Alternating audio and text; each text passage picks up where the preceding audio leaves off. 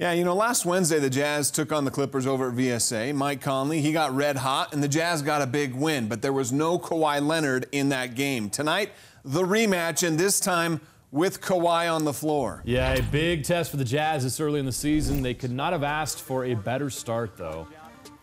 It was Bojan Bogdanovic that came out on fire in the first quarter. He made the first three shots of the game, capped off by this three, and the Jazz jumped out to an 8 0 lead.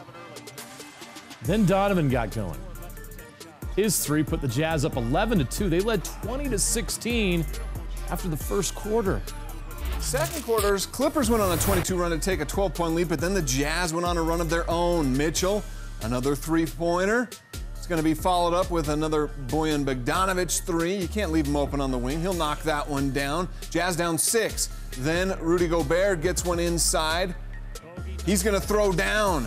It's 39 34 clips, but the Jazz keep rolling. Joe Ingles drops a three to tie the game up at 39. And with 26 seconds left in the half, Donovan Mitchell with the right hand rolls it home. A 17 3 run to close the half with the lead. Let's go to the third quarter where Kawhi Leonard shows what makes him such a special player. His strength. As good a defender as he is a scorer, muscles his way to a steal and slam. Kawhi had 30 on the night, but Donovan kept pace. On a lob, Donovan, showtime! Showtime it in LA. Donovan flying high. The Jazz win the third quarter. A little help from Joe Ingles. Jingles dials up a three, some big buckets off the bench. Tony Bradley also taking advantage of playing time with the injury to Ed Davis. Eight points, five boards. That tip in gave the Jazz a 10 point lead. Joe Ingles had nine points, five boards, two assists off the bench. Jazz led 69 65 after three. Oh, but the fourth quarter, he only made about 30% of his shots and was 0 for 5 from 3, but he gets hot here. Kawhi Leonard does a 3 for the one point lead.